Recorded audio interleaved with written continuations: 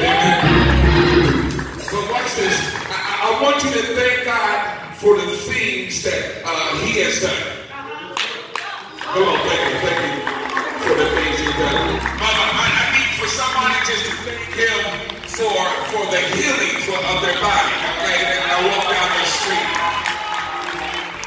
I need you. I, I need. I need at least about 500 of y'all to just thank me for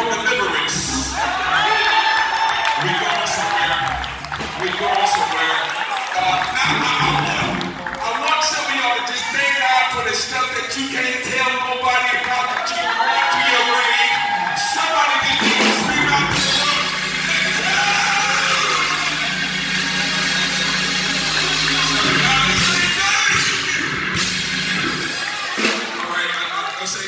so uh, he said, you want me to play crisscross and warm it up, okay?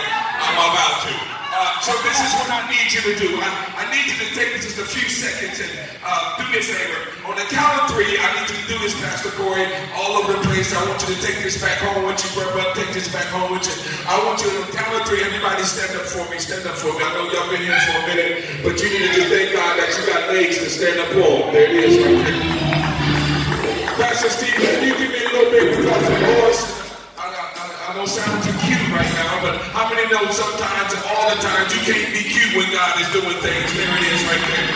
Now I want you to do me a favor now. I want you to do me a favor because I ate some healthy food today. I went to Whole Food. I don't know what that was.